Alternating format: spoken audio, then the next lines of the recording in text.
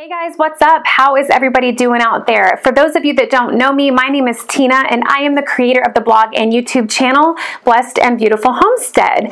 Welcome to my channel. I decided that I was going to sit down and chat with you guys today. Um, I am blown away at the response from the DIY hoop house video that Joe and I did for you guys. Um, most of you know we just created a beautiful 10 by 20 foot hoop house, uh, you know, know, slash greenhouse, whatever you want to call it, on our homestead for gardening. And we wanted to share that with you guys and show you how we did it. Um, and I just love it when I get comments and people are like, oh, I hope you don't mind if we copy this. No, please do. That's why we did it. Um, we want to share this stuff with you guys because, you know, there's a lot of things on the homestead and projects that have to be done. And, you know, we're not all carpenters, we're not all professional contractors. So, you know, it's very awesome that we can go to YouTube and we can find the help that we need there. So please, by all means, copycat all you want because we love sharing this stuff with you guys. So today what I wanted to do with you guys was just sit down and have a little Q&A question and answer session with you because I got so many questions about the hoop house build. Um, some that were pretty specific as far as what materials we used, how we did it, and things like that, what the cost was. So I thought, you know, instead of responding to every single comment, um, I'll go ahead and do a question and answer video for you guys so that you can refer back to it whenever you want to. And then I went in and responded to every comment anyway because that's just my personality. So you guys, I responded to comments. I approved and disapproved comments for six hours the other day. So um, it's just my personality to want to respond to you guys. Um, it is hard when you have a video like this with this many views and this many questions because you guys know I'm homesteading, I'm homeschooling Parker, I'm, I'm, a, I'm a wife and I have a business that I run. I mean, it's just crazy busy like everybody is, right? So it is hard to sit down and really get the opportunity to answer all the questions the way that I want to. But um, maybe someday I won't be able to do that. But right now, if I can take an hour in the morning with coffee and respond, I'm to do that for you guys. So along with this video, I did go in and I have been continually as they come in answering questions for you guys. So what I did today is I composed the most asked questions that were repetitive in nature from a lot of the subscribers. So obviously those are things that you guys are really wanting to know. So without further ado, let's dive into it.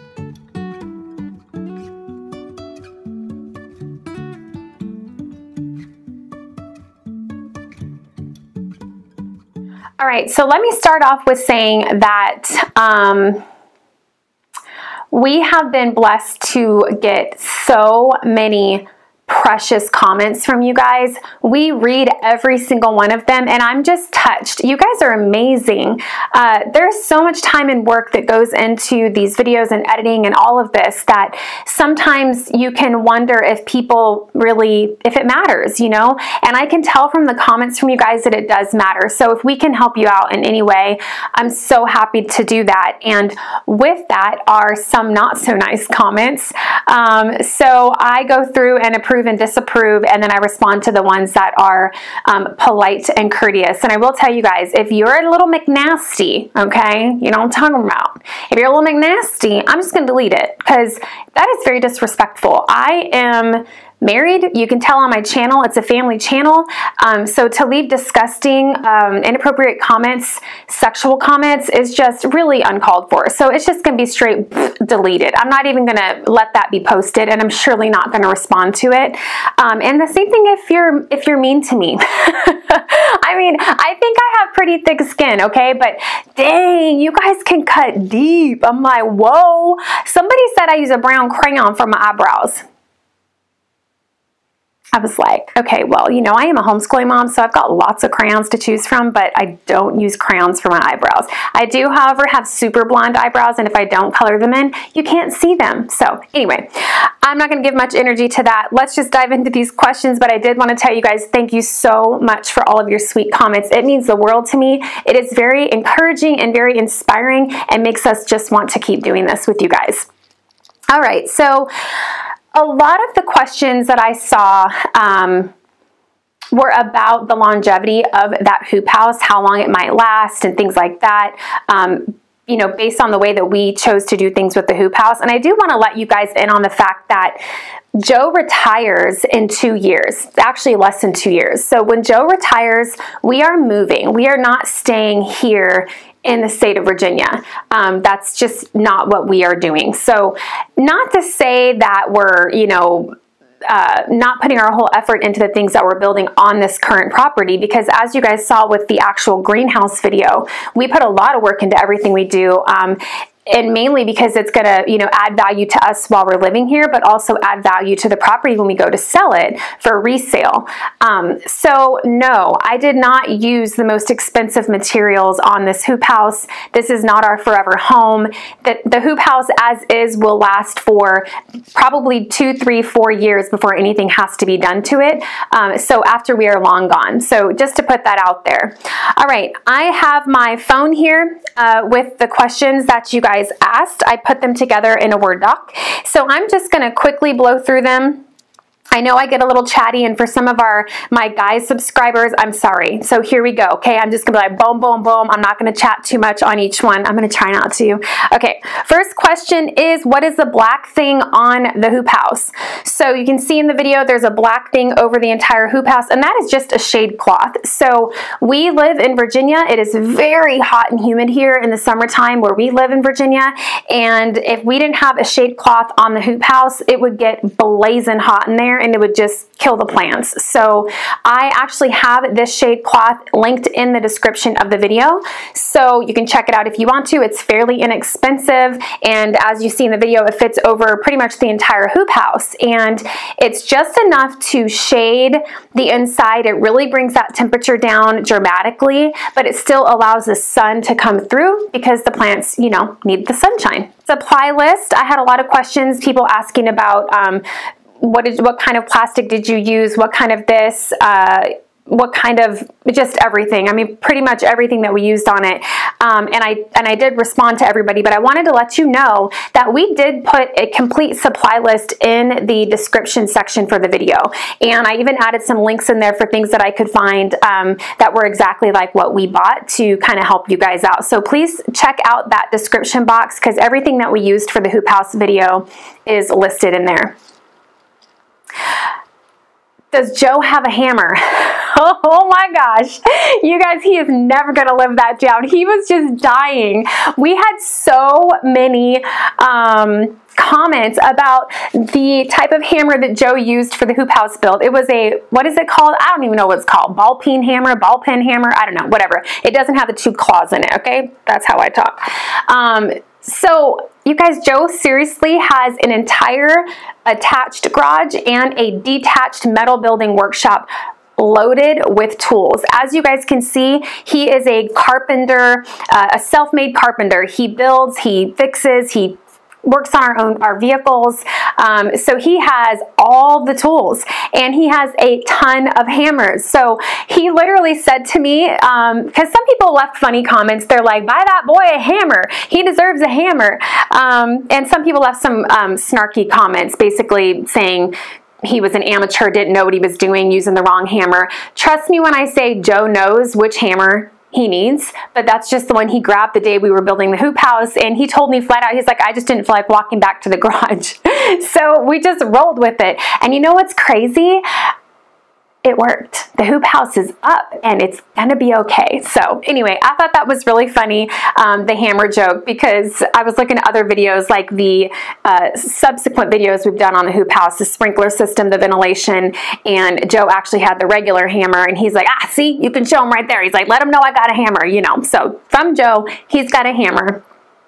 Um, a lot of people are asking if we have issues with predators crawling underneath the hoop house getting to the plants. I know that this is an issue for a lot of people in your area where you live, but we have never had that issue. Even when before we sold the farm on the big 18 acre property we had, we've never had anything dig down underneath our chicken coop, our greenhouse, nothing like that. So I suppose if that happens, then we'll work on something to mitigate that issue. But as of now, we've never had that problem. How long will the plastic last? That was a big question. The answer is I don't know. So this is our first season with the hoop house, you guys. So I just don't know how long it's going to last. I will say it is very thick and very durable.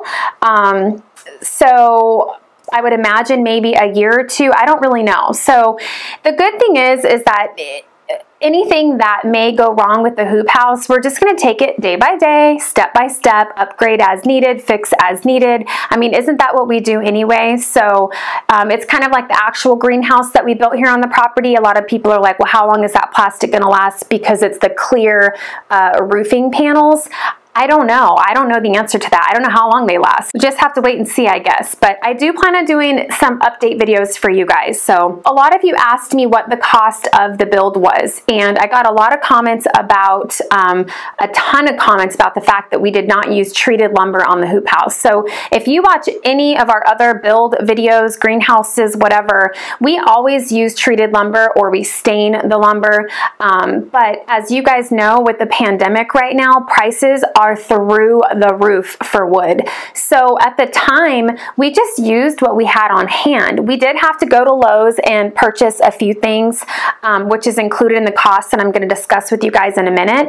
But we did have wood here on hand, and um, when we built this hoop house, it wasn't as bad price wise as it is now. Like lumber has just really skyrocketed. So, um, you know, you have to take that into consideration if you're going to do this build. If you may have to um, look at substituting with something else. I know a lot of people use PVC piping um, instead of the cattle panels. I mean, there's a lot of options for that, but at the time, prices weren't as high, but they were getting higher. So what we did is a mixture of using what we had on hand and then going to Lowe's and getting, you know, just the rest of whatever we needed. So just to you know clarify we know the importance of using treated lumber um, most definitely but you know it is what it is. Sometimes on the homestead you just throw together what you need quick and in a hurry with what you got and that's what we did and i think it turned out great. So if there's any issues it's okay. We'll address it as they come.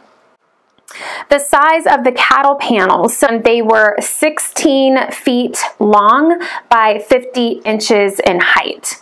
So that is the size of the cattle panels. Uh, I had someone scream at me that they're not called cattle panels, they're called hog fence panels or something, I don't know.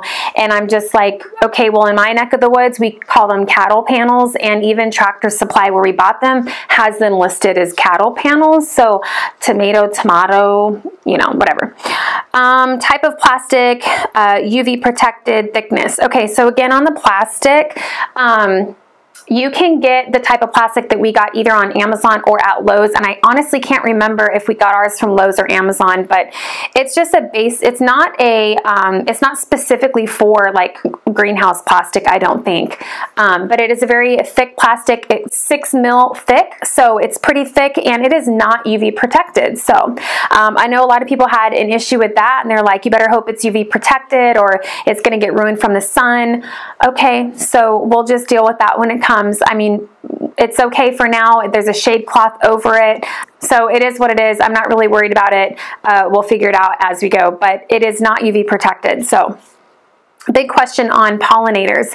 Um, there was quite a few people that said, oh great, you're keeping the bugs out and your chickens out, but you're also keeping the pollinators out. Well, if you guys research it. Not all plants and fruits and vegetables, they don't all need to be pollinated in order to produce fruit. So there are some that need pollinators and then there are some that don't. So I made sure to look at the do's and the don'ts before we chose the seeds that we were going to plant for the hoop house. So everything that we have in the green in the hoop house right now and our greenhouse actually um, are plants that don't need to be pollinated. So cabbage, broccoli, Brussels sprouts, um, cauliflower, all my lettuces are in my greenhouse. So just go online and research that because it does delineate for you which plants should not be grown in a greenhouse or a hoop house type environment.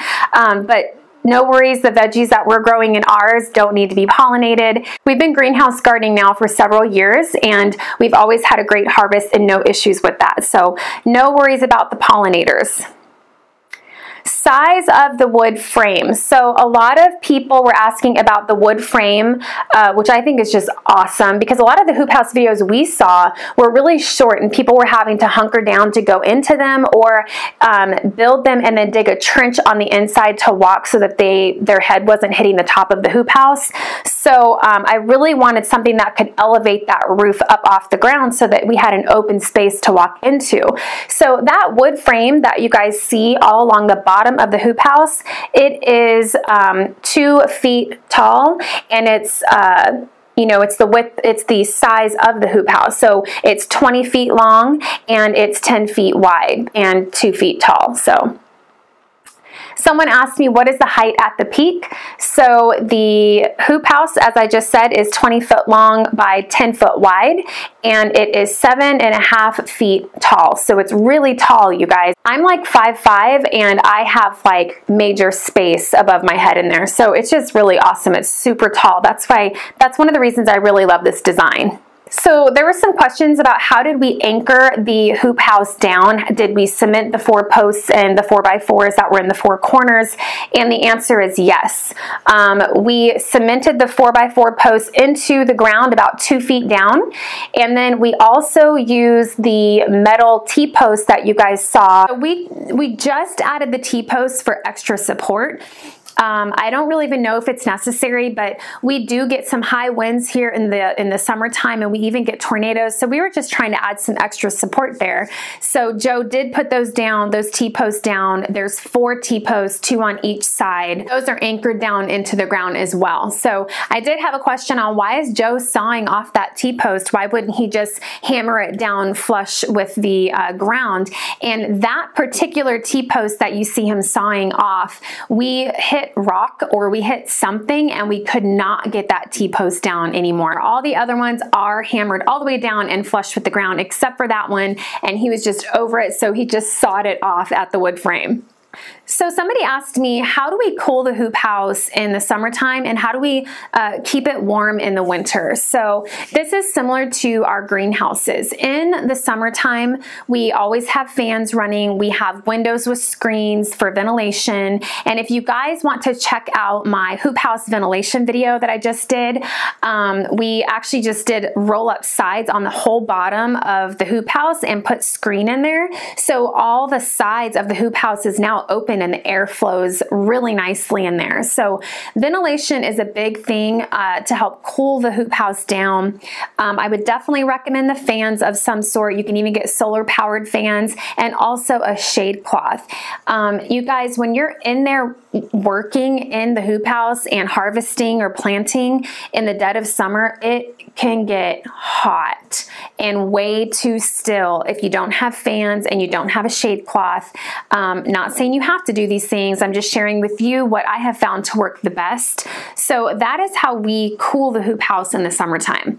In the winter, Joe usually builds like a frame with plastic to cover the windows because um, as you guys saw, we have a window in the back of the hoop house, a big big window, and then we have a smaller window in the door, the front door. So we will cover those windows with a framed um, with plastic that's framed with wood to keep that cool air out in the winter time.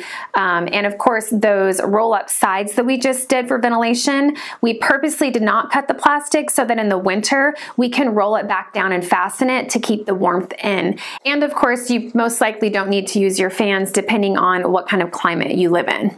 Lots of questions on uh, did we add vents? If we did, what kind of vents? Again, I just linked that video for you guys because we did add some more vents to the hoop house, so make sure you check that out. Um, the next the next question is how do we attach the panels to the wood while securing? So this is a really good question. Essentially all we did is you guys see the top of that wood frame in the video. Joe hammered in nails every so many feet down that wood frame. And then when we put the cattle panel, when we hooped it over, we stuck that panel on the inside of those nails. So the cattle panel, because of the resistance, is pushing against those nails that he hammered in. He didn't nail them in all the way, he just nailed them in halfway. And so it held that cattle panel in place while we went along and nailed in the rest of the nails to secure it. And then when he was done, he would then hammer in those nails all the way, but he would hammer them hooped over um, the galvanized steel from the cattle panel. So somebody asked if we had actual plans for the build, and sadly the answer is no. You guys, Joe really um, just shoots from the hip on these builds. And, you know, I apologize if you don't feel like the video is um, enough to kind of figure out just from watching it.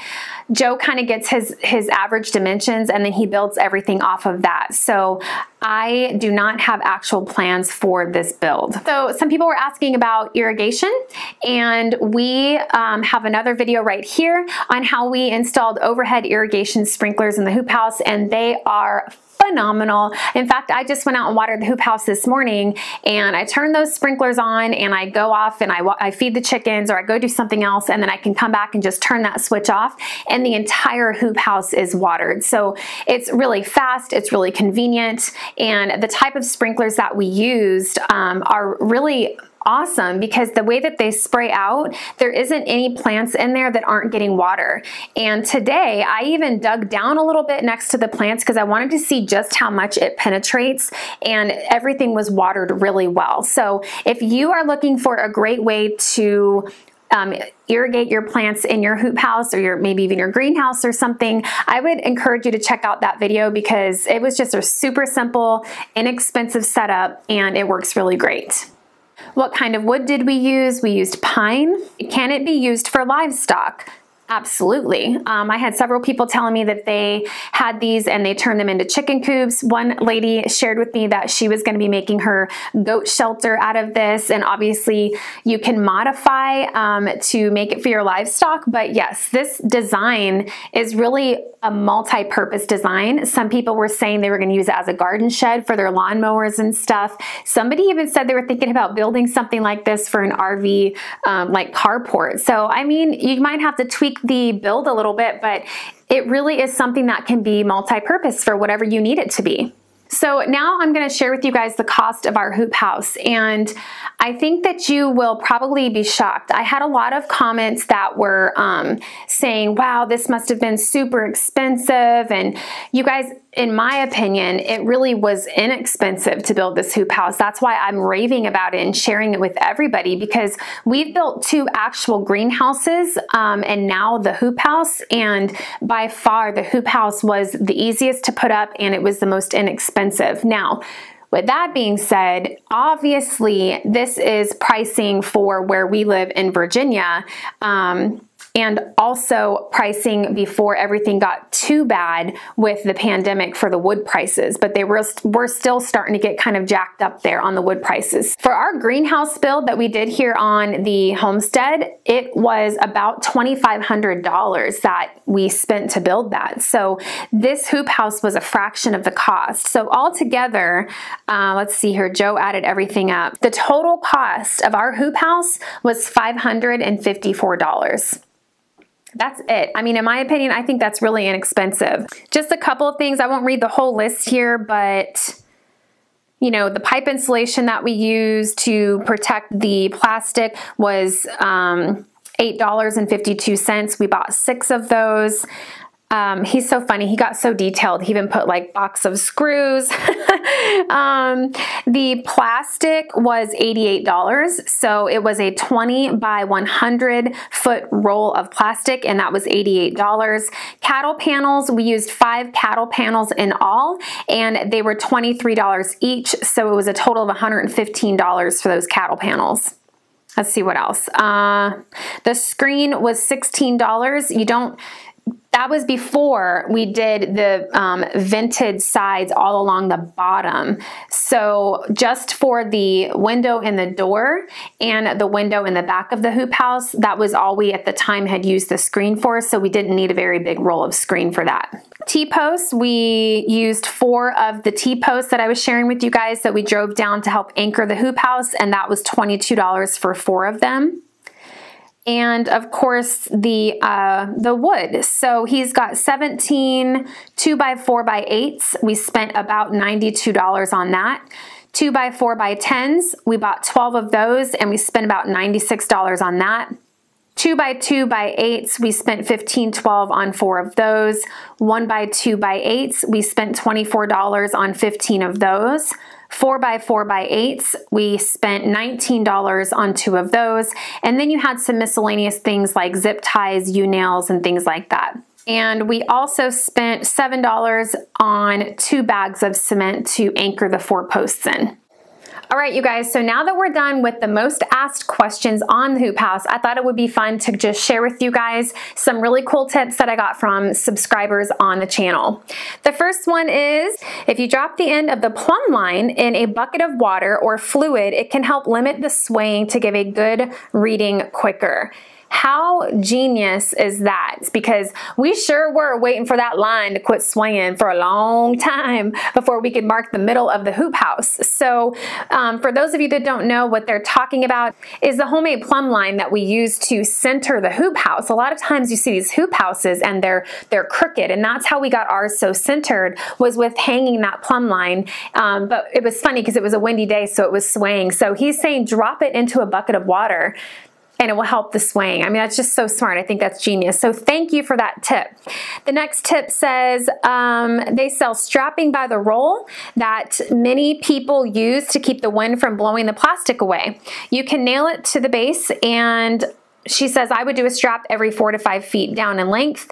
We have strong winds here too. So yeah, that's definitely a great idea. Another tip that I got was to run a center beam down the hoop house to give extra support for people that might live in areas that get a lot of snow. Um, a lot of people said use screws, not nails. It makes it easier for maintenance later. So, you know, when we were um, hammering in, what is that? I can never remember. Is it a one by one or one by two? Whatever. That little strip of wood that is actually securing the plastic to the two by four.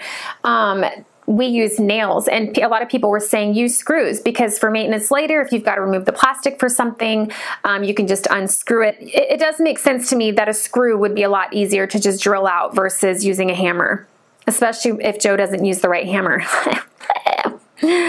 all right um a lot of people talked about using a solar kit for the fans and even having lights in there. We did that at the farm in our big greenhouse and I'll tell you guys it was awesome. It really was. If you can tack weld the panels together it will be a lot stronger. So tack welding the panels, the cattle panels together versus the zip ties, that's a great idea. I also got a million comments on the fact that we use zip ties to secure the panels together and how the sun and the heat was going to rot them and make them brittle. They were going to break okay, sure, maybe.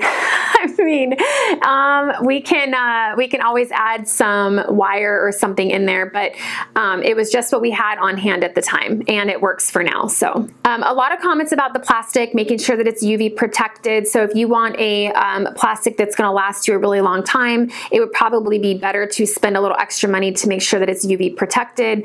Um, we didn't do that, so we just have regular plastic on there. You might want to use hog rings instead of zip ties to hold the panels together. So again, um, more comments on the zip ties. Got it. Cover the ground with hardware mesh to keep gophers, squirrels, and other thieves from digging under. Again, we don't have that issue here, but that is a really good idea. So I think that's about it, you guys. I'm just checking my notes. Um, and as always, please feel free to comment me. I, I love your guys' comments and Joe and I will always do our best to try to help you guys out. So I'm serious. There's so many of you that are saying, I'm gonna go and build this. Like this, this is what I'm gonna do this summer. So if you get into the middle of that and you get stuck or something, message me. Um, we're totally cool with that. I love hearing from you guys. So we've been hearing from people from all over the world, France, Australia, Italy, I mean, I just cannot believe how many people are connected with us and I just think it's really cool. So I may have missed some questions here or there. I hope I didn't. I'm doing my best to um, respond to each and every one of you. Um, that's really important to me. People need to feel important, right? So it may not be right away, but I will always respond to you. And a lot of times, if you see a heart next to the comment, that means I've seen it um, and I just haven't had a chance to respond yet. But I just want you to know I've seen it, I've read it, um, and I'm here. I'm here and I'm listening. So, all right, you guys, I really hope that you are enjoying this, what has turned out to be a uh, DIY hoop house video series. We've got three of these videos on there now how to build it, how to put in irrigation sprinklers, how to um, do more ventilation in your hoop house. So it's just kind of all around. Um, fantastic and it's really cool and I'll be sure to update you guys also with how the hoop house is doing like I said here in Virginia we have high winds we get tornadoes so um, I'll let you guys know maybe this fall how things went um, and if the hoop house is still here on the property all right, you guys, give me a thumbs up if you enjoyed this video. I really hope that it was helpful. I took a lot of time going through, I think there's like 800 and something as of now, 800 and something comments on this video. So I, I like I said, I spent six hours in there the other day going through all of them and um, just really wanted to put this together for you guys to help you out. So I hope it was helpful. Please click that like button for me. And if you're new to my channel and you haven't subscribed, I would love for you to become a part of our homestead family. If you haven't done so already, check out my playlist on the channel, Gardening and Greenhouses, because I have all of our other builds in there too. Till next time, have a blessed day. Channel Blessed and Beautiful Homestead. Ugh. Creator of the blog of the subscribers some awesome tips on some of the some awesome tips that we got from some subscribers. What is going on?